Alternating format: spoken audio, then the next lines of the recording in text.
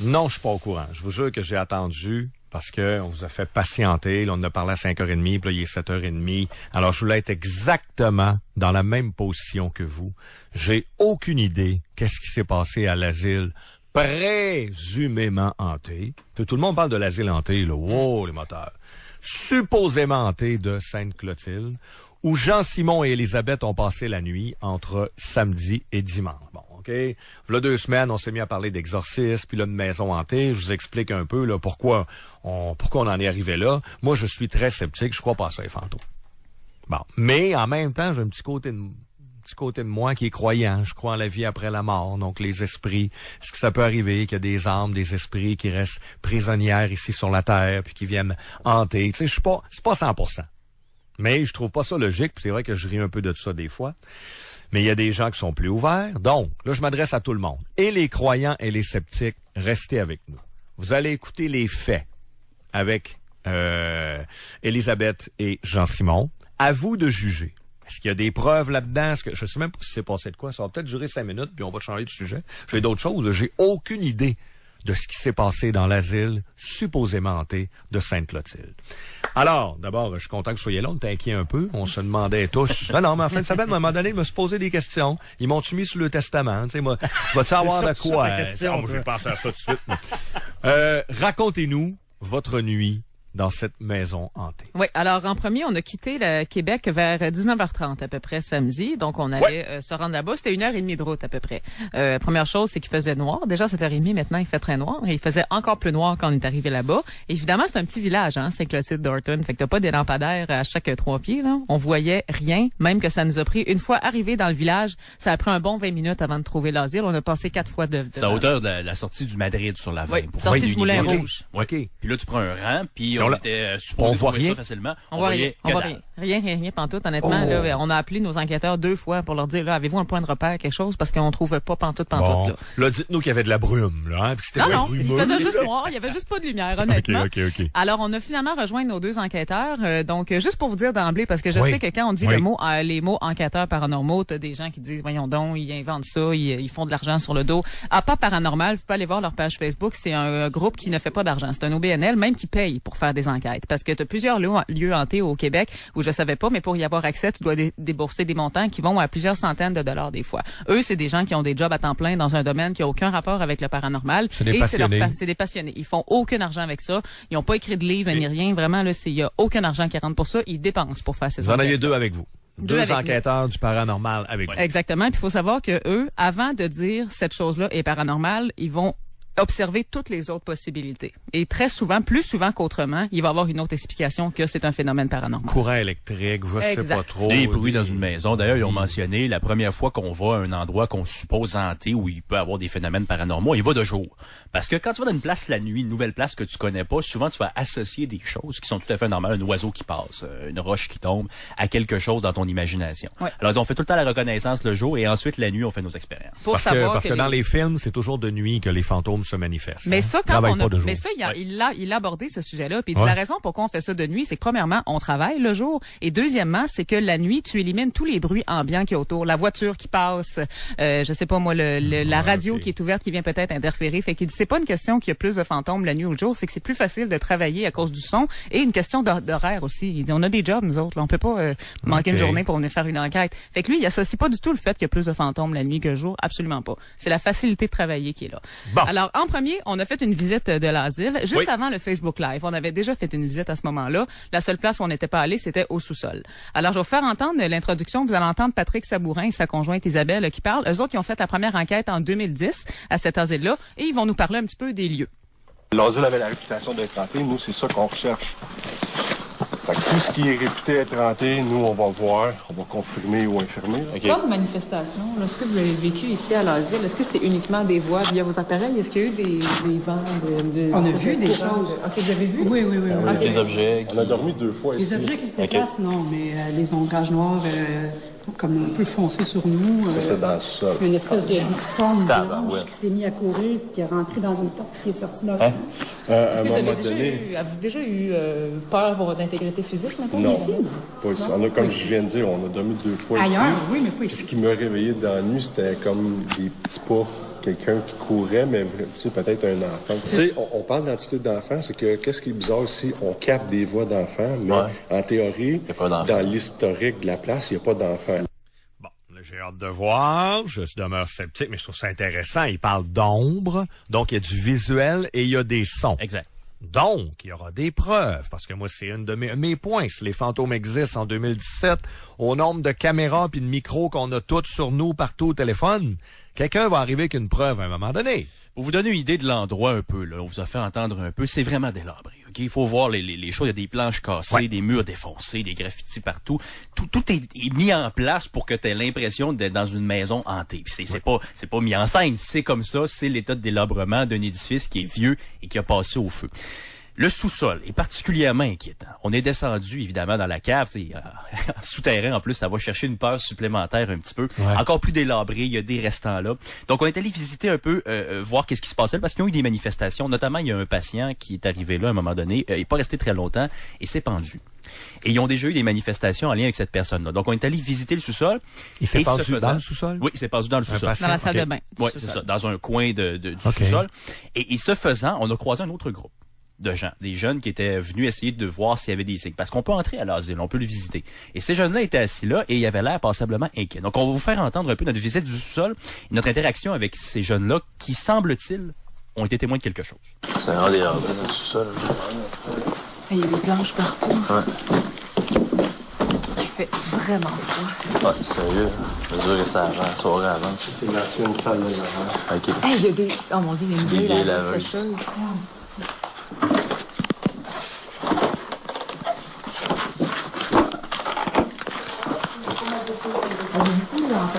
T'as entendu quelque chose? Fait comme des fois, ils ont mis la lumière, puis on a entendu piano. La deuxième fois, ça a vraiment été plus fort. là. Puis on des entendu bouger qui non, ben, bord, on dirait genre. que c'est comme de quoi qui a comme tombé, puis il a comme vécu. Mais on était genre vraiment silencieux, puis il y avait pas eu de lampe de poche, rien, puis marcher ici sans s'enfarger, puis ça marchait vraiment comme genre vraiment genre. Des petits pas? Ah Oui, mais vous avez, vous avez répondu à la, vous avez répondu vous-même à la question. C'est vieux, c'est délabré, c'est des vieilles planches. Euh, c'est très bon, là, on vous entend marcher. C'est normal Oui. qu'il y ait des bruits. C'est toujours dans les vieilles maisons que les films d'horreur se déroulent. Jamais dans un condo, dans un édifice de 50 étages. Mais non, tout le temps une vieille maison perdue dans le fond d'un bois. Pourquoi vous pensez? Parce que c'est susceptible de faire des bruits étranges. Ben justement. Sylvain, les deux enquêteurs ont parlé à ces jeunes-là et ils ont dit pourquoi ils avaient entendu des bruits et ça avait aucun rapport avec des phénomènes paranormaux. Fait que pour te dire, quand je te dis, ils évaluent toutes les possibilités avant. Ah, mais ça, j'aime ça. Ils leur ont expliqué, écoutez, il dit, il y a des, du monde en haut, il y, a- il y avait des gens au quatrième étage qui se promenaient aussi. Fait qu'il dit, c'est tellement vieux ici que quand tu marches, Ah. des fois, t'entends des bouts de ciment J'aime qui ça. tombent. Alors voilà, c'est pas, euh, c'est pas des gens qui vont dire n'importe quoi pour faire croire au Même monde des personne en bateau. Alors, Non. ils l'ont dit. Mais vous voyez que l'ambiance met quand même la table. Ouais, oui, ça, oui, ça, c'est ouais. certain. Comme Ouais. tu dis, c'est une maison qui est vieille. Alors, c'est c'est le sous-sol. Mais nous, on s'est concentré davantage sur un autre étage de l'édifice. Ouais, on est allé au quatrième étage. C'est l'endroit le plus triste de l'asile parce que c'est là qu'a eu lieu euh, l'incendie en 1988 qui a fait neuf morts. Et c'est là euh, qu'on a fait nos principales opérations finalement. OK. C'est ici la place qui est c'est triste, mais c'est l'endroit le plus intéressant pour nous autres pour capter des choses. La brume blanche qu'on a vu couvrir, là, euh, c'est une porte, c'est une cage d'ascenseur. Puis elle est partie de là, là, puis elle est sortie par la porte que là. Ça fait vraiment peur, c'est sérieux. Ça, là. C'est vrai que le froid, j'ai comme des frissons. là. Bon, je comprends très bien. Il y a eu neuf morts là. Oui, Il y a un incendie, de la douleur, de la souffrance, des, des patients, des malades mentaux. Alors, c'est sûr que s'il y a des phénomènes d'esprit hanté, c'est là que ça se passe. Et, et là, on entre vraiment dans le vif du sujet. Puis l'étage, on va vous donner une idée, on est dans le noir total. Mais évidemment, il y a des vitres comme des meurtrières, Oui, ben, des ouais. fenêtres comme des meurtrières qui laissent entrer la lumière de la lune. Donc, vous avez tout cet effet-là. Je m'amusais à prendre des photos avec le flash. Et, et comme il y a beaucoup de poussière de ciment qui revole, c'est comme des, des espèces de filaments dans, dans, dans les photos. Donc, les, les frissons que je ressentais, il y avait une partie de froid, puis il y a une partie un petit peu frisson dans l'échine parce que l'endroit est inquiétant. Et là, on entre vraiment dans le vif de l'expérience. Bon, on vous a parlé de craquement d'ambiance et tout ça, mais eux ont des appareils pour capter ça. Ce sont des euh, enquêteurs paranormaux. Et euh, Patrick Sarrazin, qui est euh, l'en- l'en- l'enquêteur avec Sabourin. sa conjointe, euh, Sa- Sabourin, excuse-moi, euh, a construit lui-même un appareil qui s'appelle un Geobox, qui est une espèce d'assemblage de capteurs de fréquences et donc il va balayer très très rapidement les fréquences et les ondes pour tenter d'entendre des manifestations. La plupart de leurs preuves, entre guillemets, ce sont des manifestations sonores. Alors, il nous explique ça, OK? On est dans le noir, euh, bon, juste éclairage, une lampe de poche, il sort ses trucs, il y a des capteurs de mouvement aussi. Ouais. Et là, il nous explique le Geobox. Et rapidement. Et, et ça, sur le coup, on va l'entendre, mais c'est vraiment à la réécoute. Puis là, tout, tout ce qu'on fait entendre par la suite, c'est réel. Il n'y a pas eu de montage audio. C'est toutes des choses qu'on a réellement entendues. Vous vous jugerez vous-même si c'est quelque chose de réel. Dès le début. Il nous explique comment ça fonctionne, les jeux au box. Et là, les fréquences passent. Vous allez l'entendre parler et vous allez entendre clairement une voix qui provient de la machine. Quand on s'entend que quand il y a un poste qui passe, tu vas entendre juste un bride de mots. hein. Avez-vous entendu oui, allô? Ben oui, mais c'est un voix de CB pas loin. Il y a quelqu'un avec non, non, un, non, non, non. Un, un- un téléphone, un CB ou de quoi? Faire écouter. On a en reprise On- trois fois. je veux le réécouter, ouais. Écoute ça. Passe, passe, passe. M'excuse, mais la voix est claire. Et vous allez voir les extraits suivants. On va faire écouter d'autres extraits, mais des interférences, on en a entendu. Des petits bribes de, de, de, de chansons sur une fréquence qui ont même un petit... On très, fait la différence. On fait la différence entre une interférence radio puis ce qui n'est pas ça. parce qu'on en a entendu toute la soirée puis eux autres ils sont capables de faire la Donc, différence. ils admettent que leur instrument de mesure peut capter autre chose Ah que ben des oui. fantômes. Mais s'il y a une voiture qui passe dans Ouais. la rue en face, ça va être un bruit de radio qui va arriver, mais ils font, ils sont capables de faire la différence entre c'est quoi une interférence radio et c'est quoi qui des voix. Des fois, on dit, Ah, mon Dieu, on t'a entendu ça? Ils disent, non, non, ça, c'est la radio. Ils savaient très bien, là. Et l'espèce de ton, l'espèce de, de, de, de ton caverneux des, des, des voix qu'on va entendre va toujours revenir. J'ai osé poser une question aux entités éventuelles qu'ils pouvaient avoir dans, dans, sur les lieux, OK? Parce que, là, là, imaginez, là, ça, ça se poursuit, l'espèce de tout le temps, puis là, Là, le oui, allô, vous autres, là. Oui. Vous pensez qu'il vient d'où? Ben, possiblement quelque chose qui est là, mais je, je me prononce pas. Je veux On dire, se prononce pas, on se prononce on se prononce pas. Je veux dire, c'est, c'est peut-être qu'il y avait quelque chose. Peut-être qu'il y a quelque chose que vu qu'on était, en tout cas, bref. Mais c'est Avez-vous eu peur? Ah, sur le coup, moi, j'espérais Oh, oui. que ce soit une interférence radio. je me disais, on est dans le pas noir, vrai, puis on écoute, ouais. là, on est attentif. notre- Le notre- 93 rentre-tu là-bas à Sainte-Clotilde? Mais Ou ça peut être nous autres? Non? oui, allô? Non, mais une ligne ouverte, des fois, là. tu sais, dans l'émission AVS. Oui, allô? Le Canadien? Ligne ouverte aussi, commence à parler du Canadien. D'après moi, vous avez le coupé le bout. Ouais, il dit, oui, allô? Canadien, pas fort cette année, hein? On a rien coupé. Non, je sais, Non, vous avez été honnête. Non, je, je le répète aux auditeurs, c'est, c'est, si, moi, vous le savez que je suis sceptique, là, regarde. On vous présente les faits, à vous de juger. OK, donc là, tu poses Et une là, je question. pose une question, puis vous allez voir un, un exemple d'interférence. Parce que tout de suite après, il va y avoir comme une interférence, je vais même le mentionner. Ensuite, il y a quelque chose. Il y a une voix, encore une fois, qui dit quelque chose. Je sais pas ce qu'il dit. On va vous le faire réécouter, mais c'est le même ton de voix, le même espèce de, de brin. En tout cas, écoutez ça. C'est quelqu'un? On dirait que j'aime pas ça. Non. Non, ça, c'est chez le tune, ça. Et vous entendez une espèce de, ah, une espèce de, de, Il y a une voix. petite ouais. caverneuse un peu ça. à la fin, là. On réécoute. Ça, là, puis mettez-vous en Il dit-tu contexte. réponds? là. Il dit-tu réponds? On n'est pas capable de comprendre. On Des peut fois, réécouter, peut-être? Non, je... Ouais, ça ressemble à répondre ou quelque chose comme ça. Mais écoute, là, met- mettez-vous en contexte, parce que là, je sais que dans votre auto ce matin, vous dites, voyons donc, c'est soit du montage, ou soit c'est d'autres choses, c'est tout sauf un esprit paranormal. Mettez-vous en contexte, là. Il est, il- on est aux petites heures du matin, là, à cette heure-là. Il fait noir, il fait froid, il fait à peu près moins 40 là-dedans. Là, on gèle, on est habillé en hiver, bottes, tuque, mitaine, foulard, euh, tout, il fait vraiment, vraiment froid. Et là, on entend ces affaires-là qui sortent de la machine, et c'est le seul son qu'il y a dans l'asile.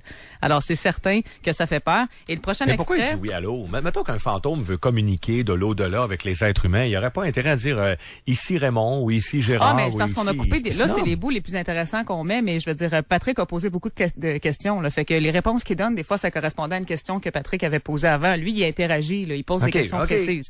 Alors, euh, la- le prochain extrait, euh, vous allez dire, vous allez entendre une espèce de bonsoir assez mystérieux au début. Ensuite, Jean-Simon et moi, on échange sur ce qu'on vient d'en- d'entendre, et à la fin, c'est une voix d'outre-tombe là, qui glace le Ah, sang. c'est- c'est- Écoutez bien ça.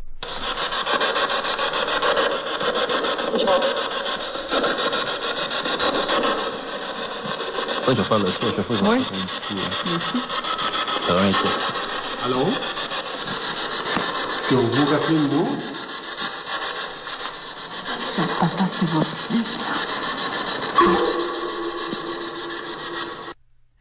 Alors, le début, le bonsoir, on va le réécouter, juste au cas que vous l'ayez manqué. Ça, c'est oui, bonsoir? On bonsoir. Bonsoir. Oui. Et l'espèce de voix d'outre-tombe à la fin, on réécoute.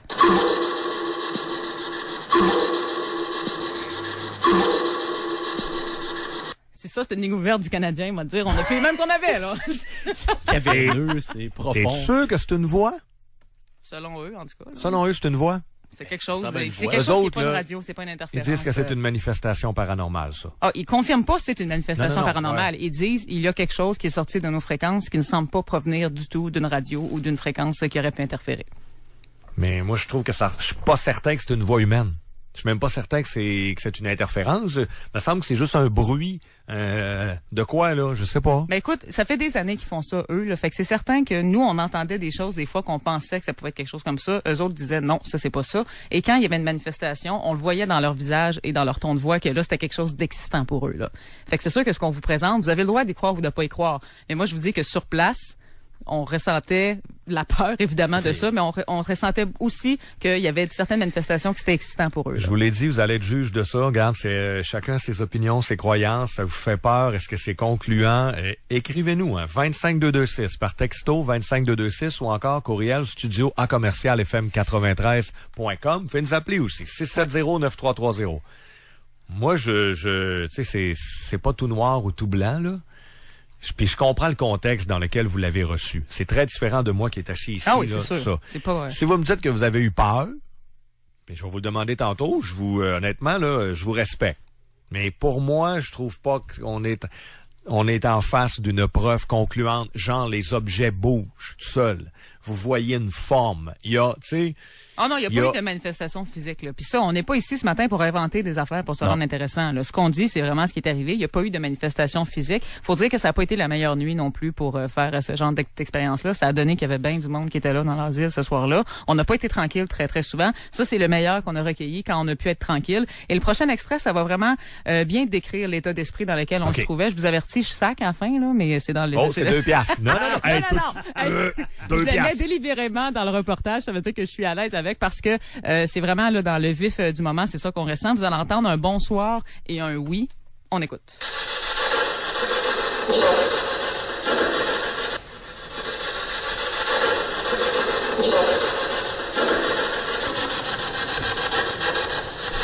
Est-ce que vous me voyez?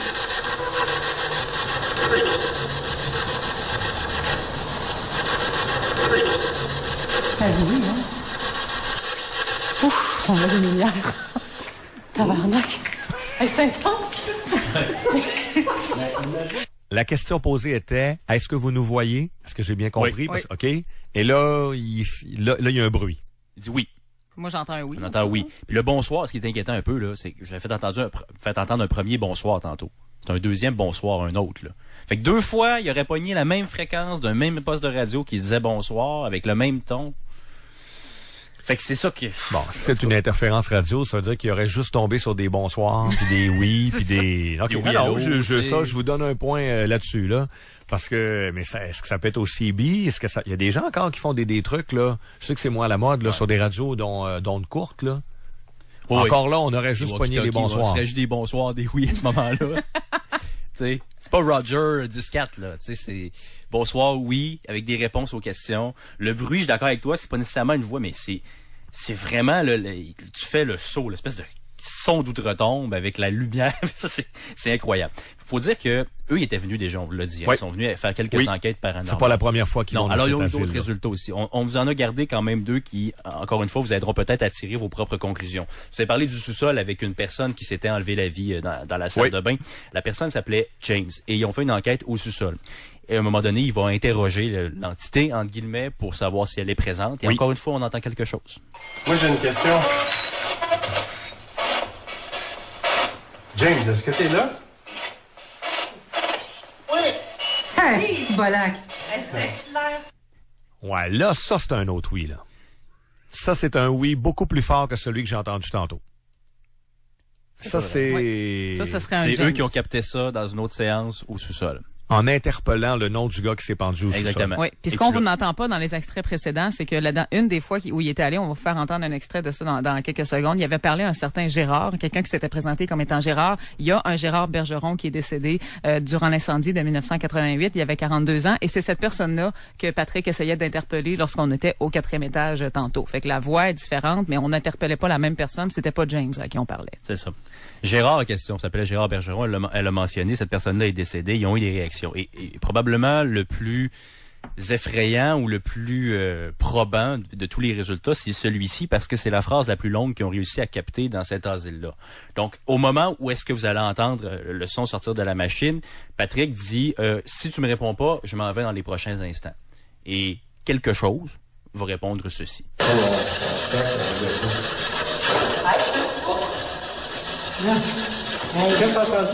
Hey, pas pas. Hey, où c'est tu Hey, vas? où c'est tu Hey, vas? dis-moi que tu vas-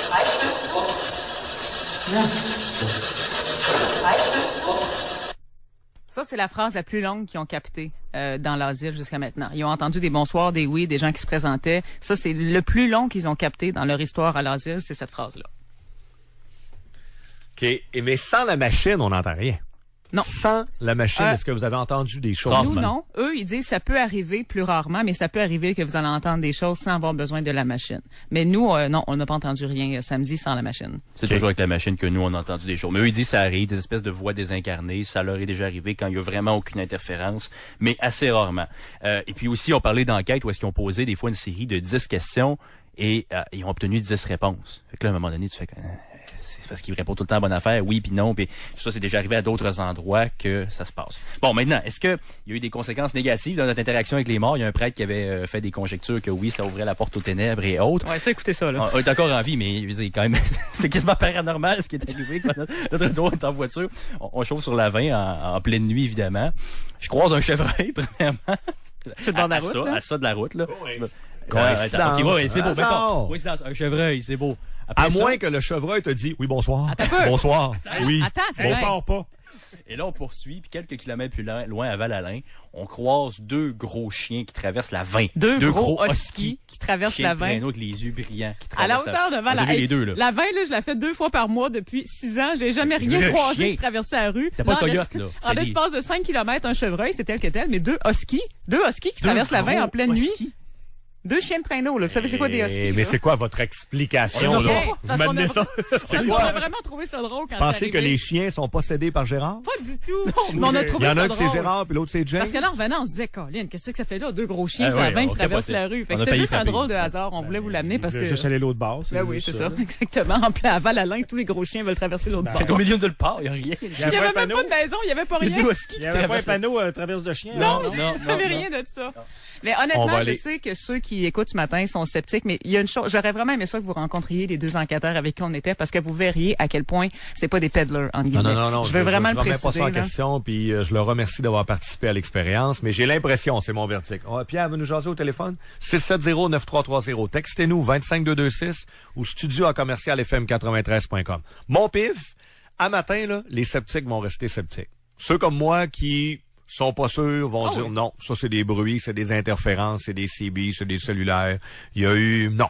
Par contre, les croyants vont croire. Je sais pas si vous me suivez. Oui. Ceux qui, un peu comme vous autres, qui sont plus ouverts et croyants vont dire, ouais, ouais, ouais, il y a eu une manifestation et on attend des hallos, des oui, des bonsoirs, des euh, votants pas. Euh, Qu'est-ce qu'il dit à c'est la tu fin? Tu vas? Où c'est tu vas? Ouais. Euh, Pierre, bon matin. Hey, bon matin, puis euh, félicitations euh, pour votre idée d'émission. Moi, je suis euh, mi-figue, mi-raisin. Par contre, euh, que j'entends de vous autres, là, ça soulève une question euh, scientifique de base. Euh, pour être capable d'émettre un son, euh, ça prend un organe quelconque. Il y a des gens là, qui ont eu des cancers de la gorge, des choses comme ça. Ça leur prend un appareil pour être capable d'émettre un son. Alors là, ça voudrait dire que les fantômes auraient des cordes vocales ou euh, je sais pas trop comment est-ce qu'ils arriveraient à émettre un son. Comprenez-vous mon point? Oui, effectivement, parce que de bouger des objets, les gens, euh, théoriquement, même là, comment un fantôme fait pour bouger des objets s'il passe au travers des murs, si- s'il n'y a plus de corps? Comment il fait? Puis le son, Pierre, vous avez une excellente... euh, moi, moi, vous savez, je suis dans le camp des sceptiques. Vous avez une excellente observation. Comment ils font? Ah, c'est une bonne euh, question. Puis là, tout ça se repose sur un appareil qui capte des sons. Puis là, on ne sait pas jusqu'à quelle distance, jusqu'à quelle fréquence. euh, et ça soulève bien des questions. là. C'est comme, bref, ben, je suis encore mi-figue, mi-raisin, quoi. Merci. Merci. Ça va me prendre plus que ça, moi. Méfiez-vous, j'ai déjà compté Houdini, hein. Houdini, qui était le, grand magicien, hein, qui, s'évadait de partout, se doutait bien, au moment où Houdini est mort, le spiritisme était à la mode en Europe comme ça avait pas de bon sens. Les séances de Ouija dans la haute société bourgeoise, c'était partout. Il y avait des médiums, ça c'était super à mode. Et comme Houdini était un magicien, mais tu il faisait croire qu'il avait des pouvoirs un peu. En réalité, c'était des trucs. Mais Houdini avait dit à sa femme, si je meurs, c'est sûr que les médiums vont parler avec moi. Là, là, là, ils vont, ils vont invoquer mon esprit. Fait qu'il dit, on va faire un, un genre de jeu là. Avant de mourir, il dit, je vais te donner un, mot de passe, un mot secret que juste toi et moi on sait. Puis chaque fois que quelqu'un va invoquer ma mémoire, puis je parle avec Houdini, demande-lui le mot de passe. Je regarde, je l'ai. Fait que là, ils ont convenu d'un mot ensemble, lui et sa femme. Houdini est mort peu de temps après, il était malade. Effectivement, dans les mois qui suivent, Plein de gens ont dit être en contact avec Houdini. Combien ont eu le mot de passe? Zéro. Chaque fois, la femme appelait. Excusez, c'est parce que euh, j'ai fait un pacte, j'ai un document. Il y, a, un mot de passe. Si vous dites que c'est vraiment Houdini, demandez-y le mot qu'il a dit à sa femme avant de mourir. Il pas un qu'il. Pas un. Alors, si les esprits communiquent, mettons que même dans l'au-delà, ils sont capables de produire des sons. Il me semble que tu dis de quoi de plus important que bonsoir, oui, allô, où c'est que tu t'en vas?